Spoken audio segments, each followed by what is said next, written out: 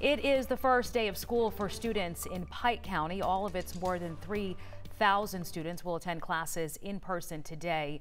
It is the only Metro Atlanta School District not offering virtual classes. They're taking a number of precautions, mandatory temperature checks, lockers not issued for middle and high schoolers. Masks are being recommended. And as more children are heading to the classroom, more teachers are fearful about the number of COVID-19 cases growing in our schools. Christy Diaz live at her home in Fulton County. And Christy, one woman is joining forces with other teachers through social media to share their concerns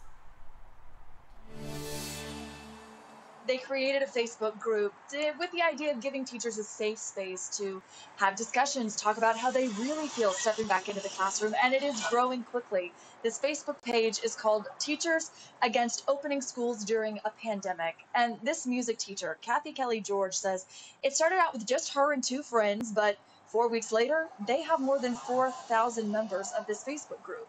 She says this gives them a safe space to be honest about how they're really feeling, like, for example, how they feel public perception of teachers has changed since the sudden shift to virtual learning back in the spring. In May, we were heroes, we were essential, we were important. And that was nice, and we didn't need that, but we were. And now we're lazy and we're inconsiderate and we're selfish, and we are not. Now, this is a private Facebook group. You have to be invited by a member to join. Shiva.